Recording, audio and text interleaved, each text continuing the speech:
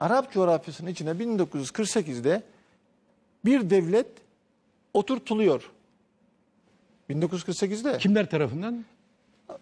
İngilizler. İngilizler tarafından. İsrail yapım ve e, üretim aşaması Londra'da gerçekleşmiştir. İsrail'i kuranlar İngilizlerdir.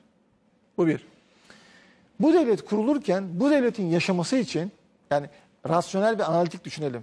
Yani matematikten uzaklaşmadan. Bir aorta, bir nefes borusuna ihtiyaç var.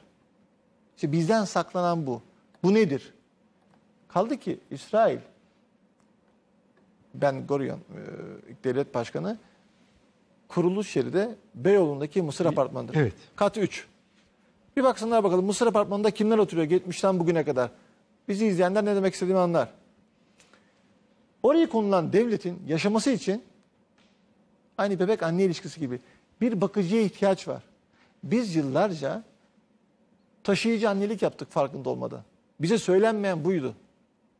Ve baktığın tırnak içerisinde çocuğun içeride dolaştığı için yıllarca biz bunu ne düşman olarak gördük ne tehdit olarak algıladık.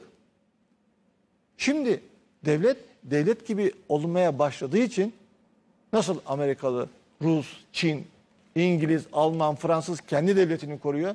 Türkler de maalesef yani 150-160 yıl sonra geri döndüler.